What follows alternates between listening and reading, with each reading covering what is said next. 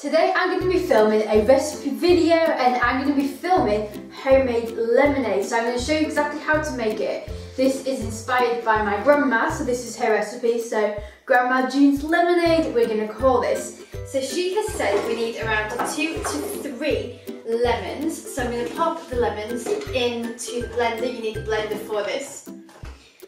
Um, what else has she said? We need two tea, uh, tablespoons of sugar. Going to pop that in here as well. And then we need six ice cubes. And then within that we need a pint and a quarter of cold water. So I'm going to pop that in here.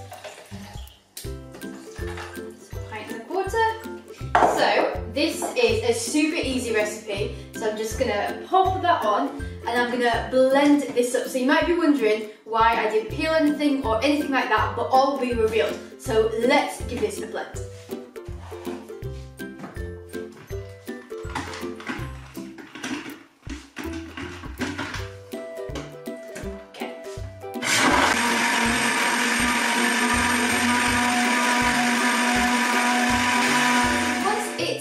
Blended and you've kind of got rid of all the bits in the ice, because we have added everything together, we need to strain it, so you need a sieve.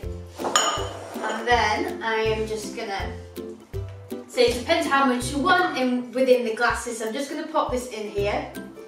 Obviously we don't want the bits, we want it proper homemade lemonade. I love it, it's honestly the most easiest recipe to make.